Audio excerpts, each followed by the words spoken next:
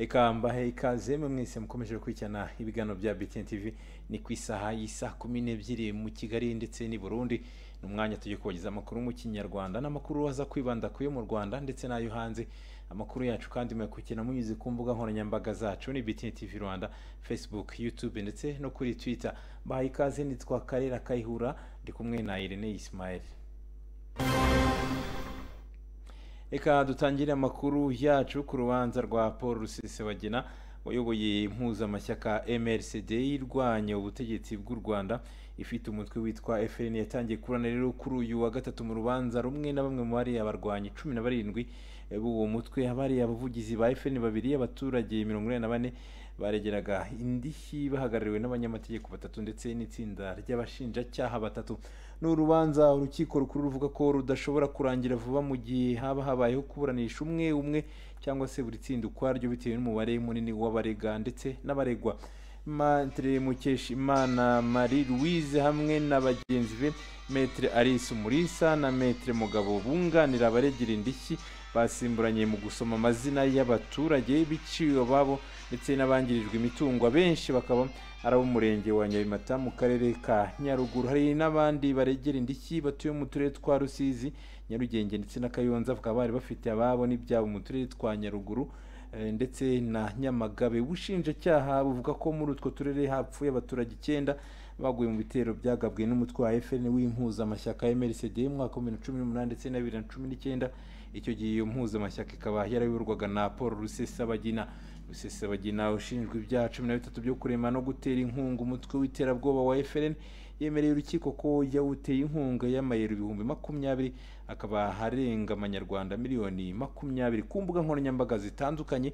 Naho Rusesabagina yavugaga ko washyigikiye umutwe wa FRN wavaga muri Nyungwe ukagaba ibitero ku baturiye iryo shyamba mu turere twa Nyaruguru ndetse na Nyamagabe.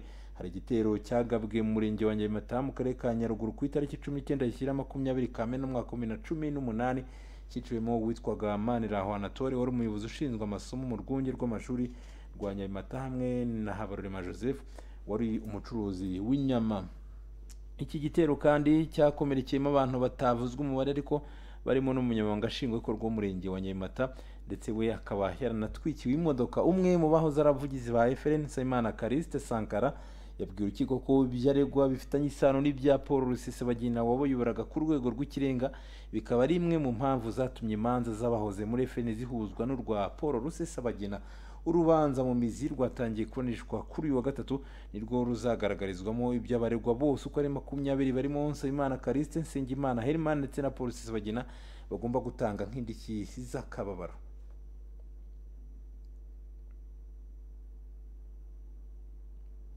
Byinshi kuri iyo nkuru mukaza kubikurikirana amakuru yacu ya saa tatu. Dukomeza n'amakuru yacu abarimo isoko riherereye mu murenge wa mutete mu karere ka gicumbi baratabaza ngo nyuma y'aho babangamiwe n'abajura babiba ndetse bakanabakubita bakaba basaba yuko umutekano wakazwa muri iri soko. Rema ingabo nziza arakomeza n'inkuru ku buryo burambuye ukuntu bigenze nari mfite inote ya bibiri. N'iy'igihumbi n'iya sekisa noneho ndabahereza.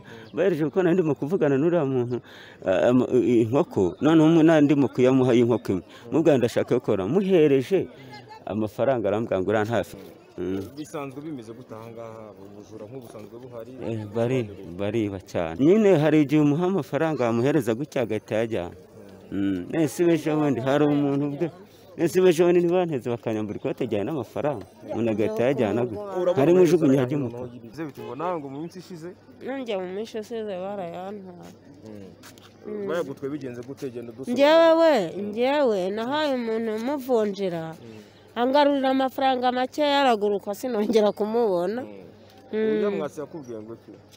Yarambwiye ngo icyo gihe ngo iyo mukurikirana ngo aba yaragize icyamarira ngo none ngo igihe cyaratakanye. Reka umuntu ageze muri ikono barakaze. Nese barabanyambura cyane.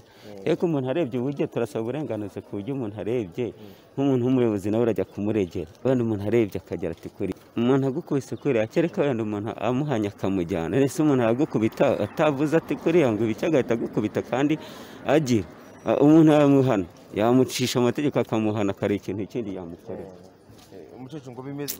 Umuntu yasaba iki se? No mu rugo ko baba babigutwara wasaba iki? Bamwe baravuga ngo ubujura bwariyongereye muri Eh, rusange bwariyongeye ariko no mu rugo baba bakwiba. No mu rugo barakwiba bagasanga agatungo bakakajyana. None noneho mu isoko wakora iki? Se ni ukurindagira umutekano se kugira ngo uboneke ntabwo byatworohera nabo. Eh, kubera iki bumva ko bitakoroha? None se uwo mutekano wajya ugenda mu isoko hose? Ntabwo wajya ugenda mu isoko hose ntiwabivamo ibisambo. Ikizajya kigaragara kizajya gifatwa kirihe ikitagaragaye nk'uriya bakubise noneho we uriya bakubise we baramuhohoteye birenze. Mm. Ba- bariya bamukubise bari bakwiye uramuzi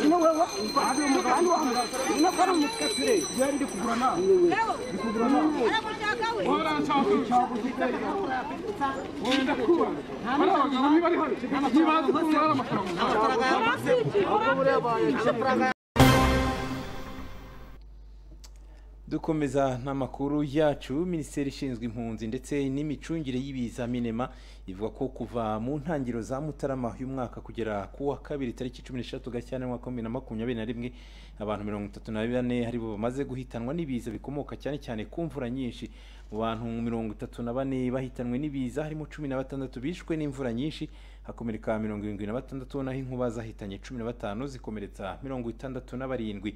Hasenyutse inzu magana ane mirongo icyenda n'umunani muri rusange ingaruka z'imvura nyinshi zisenya inzu magana mirongo itatu n'imwe naho urubura rusenya izigera kuri mirongo itanu. Hangiritse kandi hegitari magana arindwi mirongo icyenda n'eshatu z'imyaka higanjemo urutoki ibigori ndetse n'ibindi. Muri aya mezi y'akabaka babiri kandi nka mirongo itatu n'eshatu zakubiswe n'inkuba zose zirapfa ndetse hari n'andi matungo yapfuye. Mu kiganiro urwego rw'igihugu rw'itangazamakuru rba rwagiranye n'umunyamabanga uhoraho muri minema kayumba olivier yishimiye inzego z'ibanze n'abaturage bahise batabara bahuye n'ibiza ndetse akabakangurira gukomeza uwo muco mwiza wo gutabarana. Avuga ko imvura yatunguranye itari imenyerewe muri aya mezi agasaba abaturage guhora bari maso kuko imvura idateguza akanabasaba kandi kwirinda inkuba kuko ziri mu zahitanye benshi. Ati abaturage bakwiye kwirinda inkuba kuko mwabonye ko zica zikanakomeretsa benshi. Ni ugukomeza kubwira abantu bagakurikiza amabwiriza yo kwirinda inkuba. Ntibajye kugama munsi y'ibiti ntibajye mu muhanda imvura igwa ntibajye ahantu hashobora kuba hari amapoto y'amashanyarazi kugira ngo inkuba zitabakubita.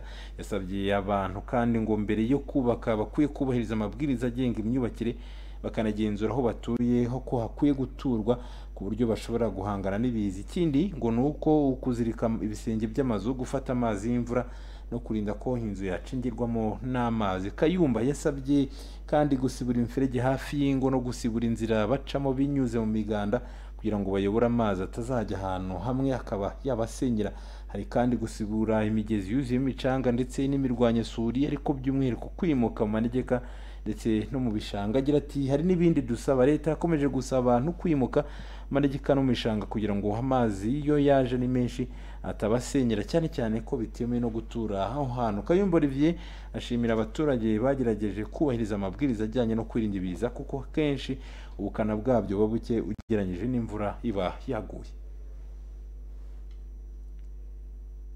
Mu kanya turaza kugaruka ku bijyanye n'inkongi imaze kwibasira mu karere ka nyarugenge. Ni mu kanya nyuma yo kwamamaza.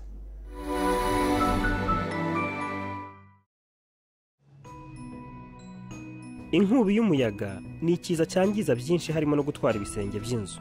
Minema irakangurira abantu gukoresha fil galvanize cyangwa imigozi yabugenewe mu kuzirika ibisenge bakazirika neza sharupante zigakomera bagafatanya neza ibiti bya mwikorezi n'ibyo basakariraho amabati bita taraverse na rampa.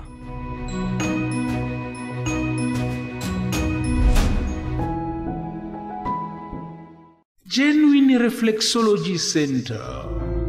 Uwamenye iki kigo nzahura buzima ntazahazwa n'indwara z'imitsi cyangwa iz'ingingo kuko aba bahanga bazihangamura bifashishije reflexology bwa buryo bwihariye bukangura imyakura. Yaba ari n'umwana wavukanye ubumuga baramufasha mu gihe gito umubiri we ugasubira mu buryo. Ubu buhanga genuine reflexology center yifuje ko tubusangira ngo twikorere reflexology ubwacu cyangwa tuyikorere abandi. Ubu dufite reflexotherapy tv kuri youtube. Twigiraho amasomo ya reflexology ku buntu. Naho ubumenyingiro bushingiye ku bushakashatsi bwakozwe n'aba bahanga. Tukabuvoma ku rubuga wa eshatu akadomo next refresh reflex akadomo com ku mafaranga ibihumbi icumi gusa. Inzira unyuramo wishyura na yo urayisanga kuri uru rubuga. Sobanuza kuri zeru karindwi umunani umunani mirongo ine mirongo icyenda na kabiri mirongo itandatu na kane. Bitihise ugere kuri genuine reflexology center ku kimironko. Aharebana na reg ishami rya remera.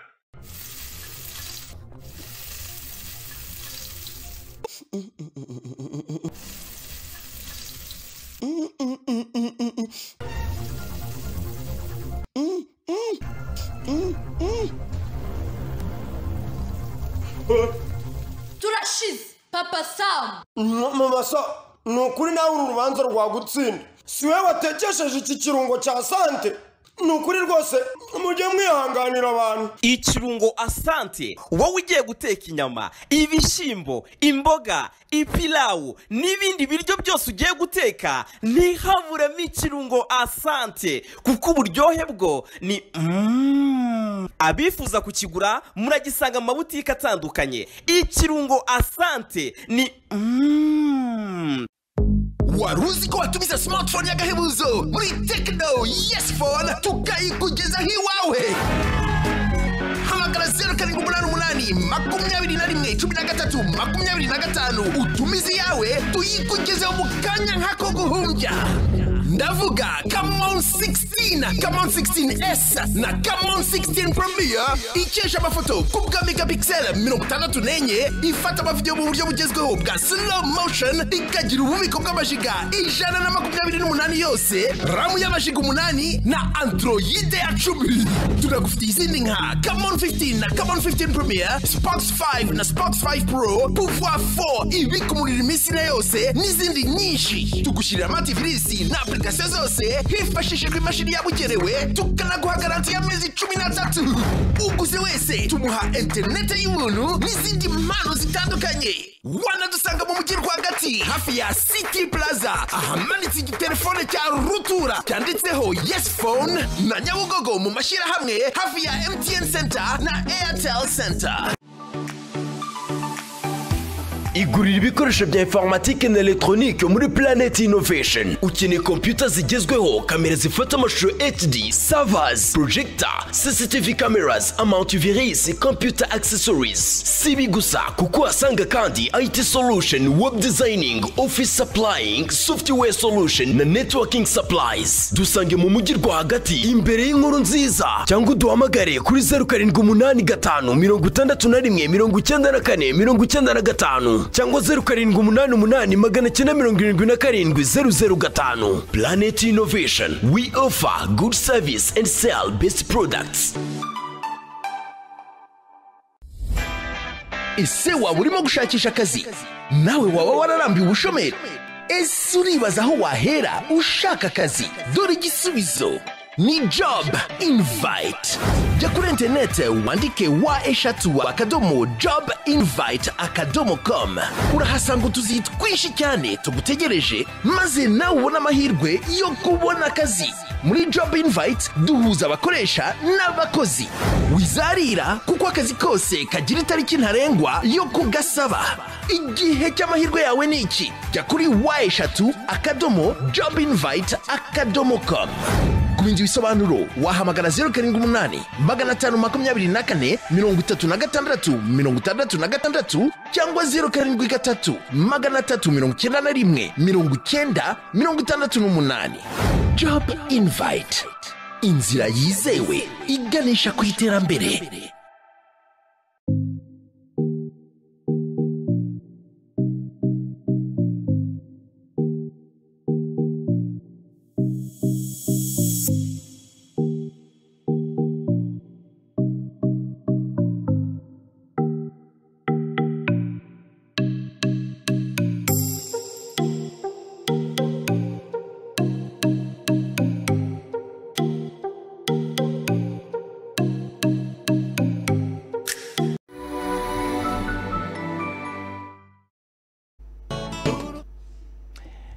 Reka dukomeze amakuru yacu aho nyarugenge nk'uko nimaze kubabwira inkongi y'umuriro yibasiye igaraje ry'imodoka riherereye hafi hazwi nko kwa mutwe ni hagati y'umurenge wa rwezamenyo ndetse na nyakabanda hahiramo imodoka zigera kuri cumi n'umunani ziganjemo imodoka z'amambasade harimo n'iy'umukinnyi w'ikipe y'igihugu amavubi ndetse na Rayon Sport sugira Ernest. Hafi mu masaha saa cyenda z'igicamunsi cyo kuri uyu wa gatatu ni bwo ku muhanda wa kaburimbo uturuka nyabugogo werekeza i nyamirambo cyangwa se hafi hazwi nko kwa mutwe. Ni umuhanda ugabanya imirenge itandukanye ya nyarugenge. Harimo rwezamenyo nyakabanda ndetse no hafi ya kimisagara ni ho igaraje ryahiye ryari riherereye. Ikirere cyose cyabaye umukara mu bice bitandukanye aho abaguri bose mu bice bitandukanye by'umujyi wa kigali. Wabonaga ikirere cyahindutse bamwe bibaza ibyabaye.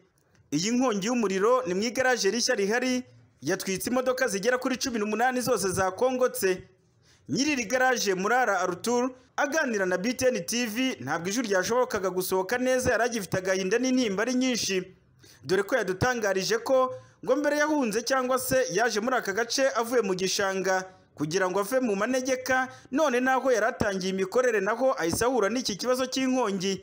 Tumubajije ku bijyanye niba yari afite ubwishingizi yatubwiye ko ngo ibiganiro byari bimaze igihe n'amasosiyete y'ubwishingizi kugira ngo urebe iyo bakorana ariko ngo atari yamara kujya mu bwishingizi. Mu bandi kandi bahuriye n'isanganya muri izi modoka harimo y'umukinnyi w'ikipe y'igihugu y'u rwanda amavubi uzwi nka sugira ernest.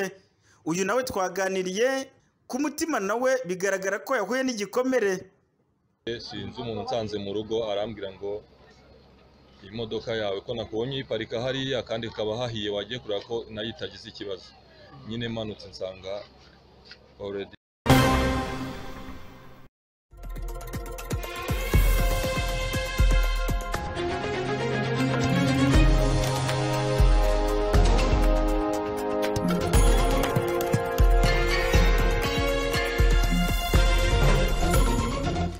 reka dukomereze amakuru yacu kuyavugwa hanze y'igihugu cy'u rwanda. Perezida wa zanzibar ni dr. Hussein mwinyi yatangaje icyunamo cy'iminsi irindwi mu gihugu cyose.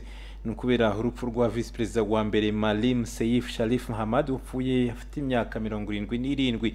Amabendera azurutswa kugeza hagati mu gihe cy'icyunamo nk'uko yabitangaje. Malim seyif sharif hamad yapfuye nyuma gatoya saa tanu z'amanywa zaho kuri uyu wa gatatu mu bitaro bya muhimbiri i dar es salaam aho yari amaze hafi icyumweru bitatu arimo kuvurirwa nk'uko perezida mwinyi yabivuze mu itangazo rigufi kuri televiziyo. Perezida mwinyi nta mpamvu yavuze y'urupfu rwe ari ku ishyaka ict wazarendo rya hamad yatangaje mu mpera y'ukwezi kwa mbere ko bamusanzemo coronavirus ndetse we n'umugore we.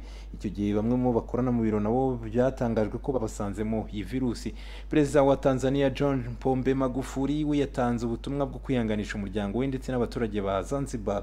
Uburwayi bwe bwamenyekanye hashize iminsi perezida magufuli yihanganishije yihanangirije abashinzwe by'ubuvuzi ko batakwihutira kuzana inkingo za covid cumi n'icyenda badafite ibyemezo avuga ko zishobora kugira ingaruka ku buzima. Hamad cyangwa se marimu seif nk'uko yari amenyerewe cyane muri zanzibar yabaye umutetsi wa mbere muri tanzania wo ku rwego rwo hejuru cyane utangaje ku mugaragaro ko bamusanzemo covid cumi n'icyenda kuva mu mpera y'ukwezi kwa kanwa kumi na makumyabiri tanzania yahagaritse gutangaza amakuru ajyanye na covid cumi n'icyenda.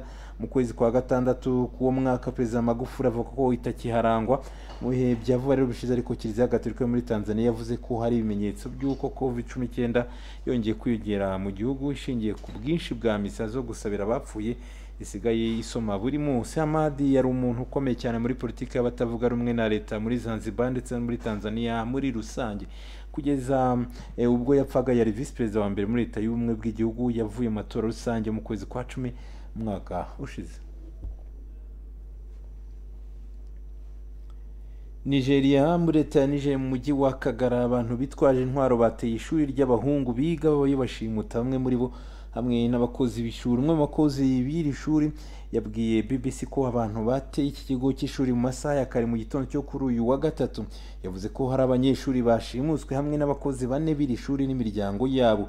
Abakuriye ishuri ubu bari kubara abanyeshuri basigaye kugira ngo bamenye umubare nyawo bashobora kuba bashimuswe. Ntibizwi neza abakoze igitero gusa ibikorwa byo gushimuta abantu hagamijwe gusaba ingurane bireze muri nigeria bireze muri nigeria ndetse leta ya nigeria ni imwe mu zibasiwe cyane mu kwezi kwa cumi n'abiri umwaka ushize abahungu barenga magana atatu nabo barashimuswe. Twaje tubivuga hano makuru ni ku ishuri bigagaho mu mujyi wa kankara muri leta ya katsina. Baje rero kurekurwa nyuma yo kumvikana n'ababashimuse naho ibiro by'ubutasi bya koreya y'epfo byashinjije mukeba wabo koreya ya ruguru kugerageza kwiba amakuru ajyanye n'ikorwa ndetse n'imivure by'urukingo rwa covid cumi n'icyenda rwakozwe n'ikigo cy'abanyamerika Pfizer. Amakuru y'ibyo birego yatangajwe n'umwe mu bagize akanama k'inteko ishinga amategeko gashinzwe ubutasi muri icyo gihugu utavuga rumwe n'ubutegetsi ni hatekeng wavuze ko ubutasi bwa koreya y'epfo bwaduhaye amakuru arambuye ya koreya ya ruguru yagerageje kwiba amakuru y'urukingo rwa Pfizer n'uko ruvura yifashishije ikoranabuhanga. Ntabwo yasobanuye neza igihe bamaze bagerageza kwiba ayo makuru cyangwa se niba byaragezweho. Ibiro bya Pfizer muri Aziya n'ibyo muri Korea y'Epfo nabyo ntacyo biratangaza kuri aya makuru. Mu kuboza umwaka wa bibiri na makumyabiri nibwo ibigo bya Pfizer ndetse na BioNTech byagaragaje urukingo rwanamaze kwemezwa rukwitabazwa kwitabazwa mu bihugu byinshi byo mu rwego rwo gukingira indwara ya covid cumi n'icyenda. Ibyo bigo biherutse gutangaza ko inyandiko zabyo zijyanye n'urwo rukingo zagezweho binyuranyije n'amategeko binyuze mu gitero cy'ikoranabuhanga cyagabwe ku kigo cy'iburayi gishinzwe ubuvuzi. Ibyo byavuzwe nyuma y'uko ikigo cyari cyatangaje ko cyagabweho igitero cy'ikoranabuhanga ariko ntiyarizi niba icyo niba ari cyo ku makuru ajyanye n'inkingo za covid icyenda byigeze byigwa cyangwa se hari aho bashaka kumenya aho biherereye. Koreya ya ruguru si ubwa mbere ishinjwa kwiba amakuru ajyanye n'inkingo kuko umwaka ushize yanaketsweho kwinjira mu mabanga y'ibigo bikora ubuvuzi bisaga icyenda birimo johnson johnson ndetse na novax by'abanyamerika ndetse na AstraZeneca y'abahinde. Abasesenguzi bavuga ko ibitero by'ikoranabuhanga icyo gihugu gikomeje kugaba ku bigo bikora inkingo bishobora kuba bitagamije kuba cyabona amakuru yagifasha nacyo kuzikorera ahubwo kigamije kuzayagurisha kikabona amafaranga yo gukomeza kwifashisha umugambi wabo wo gucura intwaro za kirimbuzi turacyari muri koreya ya ruguru n'ubundi aho umugore wa perezida wa koreya y'amajyaruguru kim jong un umugore witwa lee soju kuri uyu wa gatatu yagaragaye mu ruhame ubwo yari ari mu birori byo kwiza isabukuru y'amavuko ya se wa kim ari we kim jong wa kabiri. Lee sol ju yaherukaga kugaragara mu ruhame muri mutara mwaka wa bibiri na makumyabiri nabwo mu biro byo kwizihiza umwaka mushya. Kuva icyo gihe yaratarongera kugaragara mu ruhame ndetse byanatumye hatangira kwibazwa byinshi. Kimwe mu byatangajwe ku cyaba kiri inyuma yabyo ni uko yiteguraga kubyara akaba yaragombaga kwita ku buzima bwe. Gusa hari ibindi byavugwaga ku mubano hagati y'abo bombi ubwo ni hagati ya Kim Jong Un ndetse n'umugore we ko utari wifashe neza. Abashinzwe urwego rw'ubutasi muri Korea y'Amajyepfo bahora bakurikirana cyane Korea ya ruguru bavuze ko yakumiriwe mu bikorwa byo mu ruhame mu rwego kwinda icyorezo cya covid cumi n'icyenda. Kugeza ubu muri korea y'amajyaruguru ntabwo haragaragara umurwayi wa covid cumi n'icyenda nk'uko babyivugira ariko urwego rushinzwe ubutasi muri korea y'epfo ruvuga ko kuba korea y'amajyaruguru ifitanye umubano n'ubushinwa nk'amwe hagaragaye bwa mbere covid cumi n'icyenda bitakwizerwa ko nta murwayi waba uhari nimuze gucikwa n'amakuru ku buryo burambuye mu kanya ku isaha saa tatu muraza kuba muri kumwe na iradukunda liliane mukomeze mugire ibihe byiza. Irene yakoze cyane kuri tekinike nitwa kariya kayora tuzongera ku munsi w'ejo n'ubundi mu makuru.